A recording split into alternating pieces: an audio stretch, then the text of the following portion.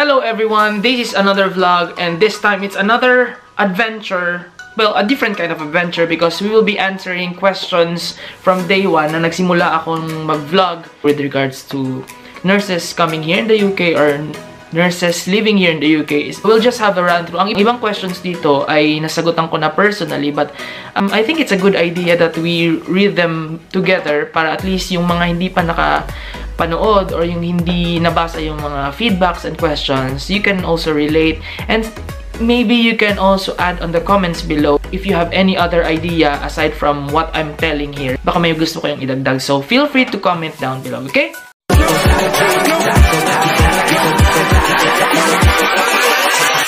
Hold up.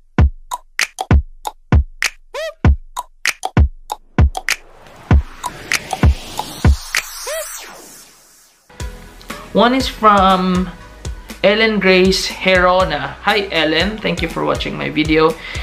Sabi niya, new subscriber here, thank you very much. Struggle is real talaga with IELTS. I can relate pero laban pa rin. Yes, don't lose your hope.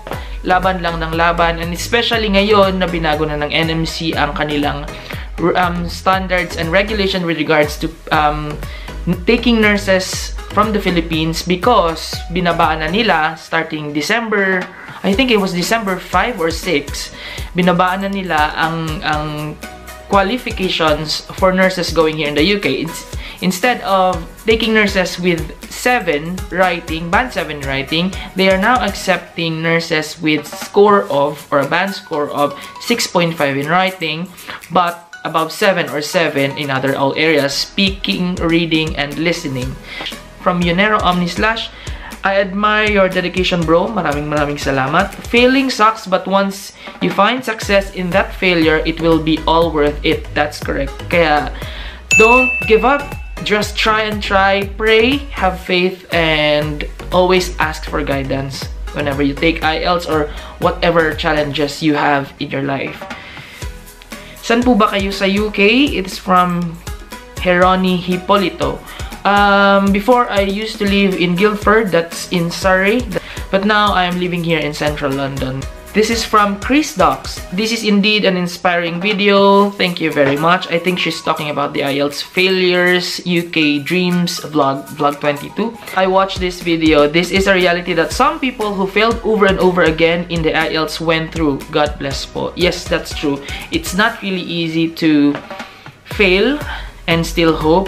And the worst part is to cling on, to pursue your dreams, prayers, practice, and God will do the rest. In that particular um, policy they've released newly, those nurses who had 6.5 in writing and above 7 in all areas, even um, two years before, I think they are eligible to apply. So try to um, negotiate or try to apply from the agencies, from the registered agencies in the Philippines and they can give you advices.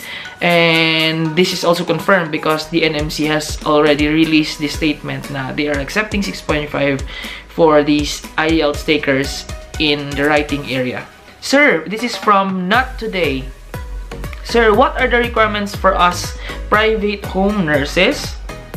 Here in Saudi which do not have prometrics because it's not required by our employer.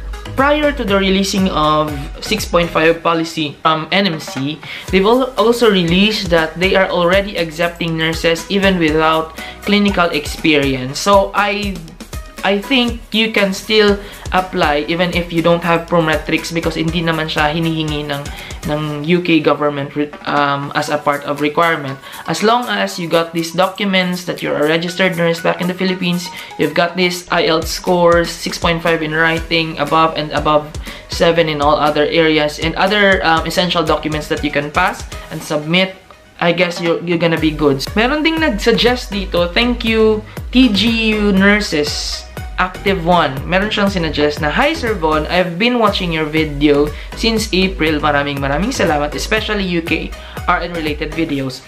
I would like to suggest if you could make a video about list of things that should or could be brought to UK for Filipino nurses who are still for deployment. Alam nyo, matagal na matagal ko nang gustong gumawa ng video with regards to this pero ang dami-daming pumapasok ng mga um, mga dapat i-edit pa kaya hindi ko pa nagagawa. But, um, this is the chance. Hindi ko na papatagalin pa. So, usually, ang mga kailangan nating dalhin pag pupunta ng UK are the following. Kaya, number one is adapter plugs. Dahil iba yung plug ng Pilipinas dito sa UK at iba rin sa Europe, European, other European um, countries. So, bring the UK adapter plug. Marami namang nabibili dyan sa mga hardware dyan sa mga mall.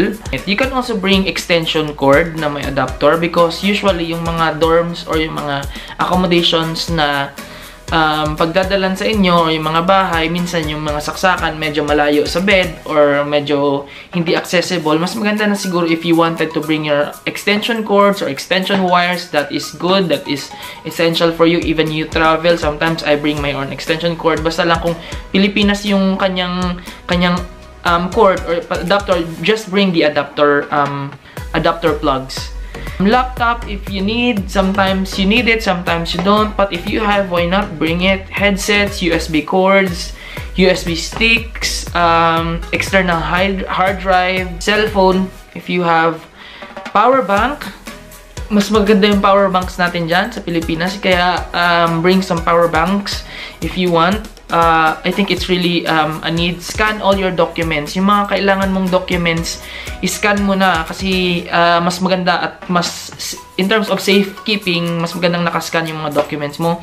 Even yung mga documents mo na iniisip mong iiwan mo sa Pilipinas, yung mga valid IDs mo na iiwan mo sa Pilipinas, or any documents that you find important, it's better to scan them and send them on your own email para anywhere in the world you can access them and print them if you wanted to, okay? Photocopy na gusto mong iiwan sa Pilipinas just in case kailanganin ng mga ng pamilya mo or kailangan kailanganin mo in any other applications back home and then you're here in the UK. So at least leave some important photo photocopies um, in the Philippines Meron akong mga mga transaction sa Philippines na kailangan ng papel ng papeles ko or ng pirma ko kaya nag-iwan din pala ako ng authorization letter and SPA if you really need it. But mas magandang ilagay mo lahat din sa folder. In terms of clothes, kailangan mo rin magdala ng of course your um, underwear, Um, gaano ba kadami? Siguro one week worth muna kasi maglalaba ka naman. Meron naman ditong dryer and washing machine. Kaya hindi mo kailangan dalhin ang buong SM, ang buong mall here. You can uh, you can even buy your underwear here. Kaya magdala ka na lang siguro ng one week worth of your underwear, even one week worth of your shirt. If you want printed, colored, white, transparent, whatever shirts you want, bring them here. Sinasabi ko sa inyo, mas maganda yung mga designs dyan sa Philippines kesa sa mga designs here in the UK. Ewan ko, personal ko yon But you can also bring long sleeves or one pair of business attire if you if you want.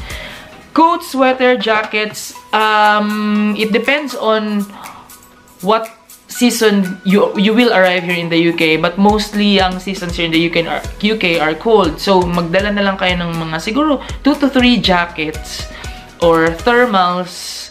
Pair of thermals pwede na yon Ito naman, dito naman mas murang bilhin yung mga jackets na yan. Saka, saka para hindi masyadong bulky sa inyo, magdala na siguro kayo ng tatlo or apat. Bahala na kayo kung gaano nyo pagkakasyahin yan sa inyong mga mga luggages. Pero I, I suggest, wag na masyadong madami because you can also bring jackets, thermals, and and what you call coats here. And it's thicker. jeans, maybe tatlo, shorts, socks, yan, one week worth of one week worth of socks, yung mga medyas ninyo. Mag, huwag kayong mag-alala guys, hindi naman kayo sa maglalaba dito because there's washing machine and dryer here. Kaya okay lang yon Hankies, towel, yep. Usually, accommodations, some accommodations provide them with towel, some don't. So, better bring one or two. Scarves, together with your coats, you can bring maybe just a start, one or two. Huwag kayong mag-alala as you spend your years in the UK, mas marami kayong mabibili, mas marami kayong makikita, kaya huwag masyadong magdala galing dyan para hindi kayo mahirapan.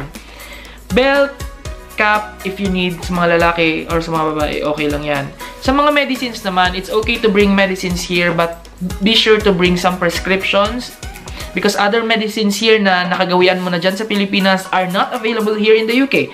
That's why, especially if you are used to branded medicines, kaya mas magandang magdala ka na lang ng mga medicines mo from there in the Philippines like paracetamol. Well, there is paracetamol here pero walang biogesic po or walang kung anumang brand dyan. Hindi pa ako nag-endorse. So, if you're used to having these medications, bring them, have them prescribed and bring them and bring the prescription. Huwag niyong kalimutan. Metoclopramide kung masyado kang biyahilo. Walang Bonamine dito pero kung biyahilo ka, magdala ka ng Bonamine pero merong other alternatives for for travel sickness. Kaya ako kasi lagi akong nagta-travel pero um, ako ng Bonamine. Kaya meron akong mga nakitang other alternatives for travel sickness.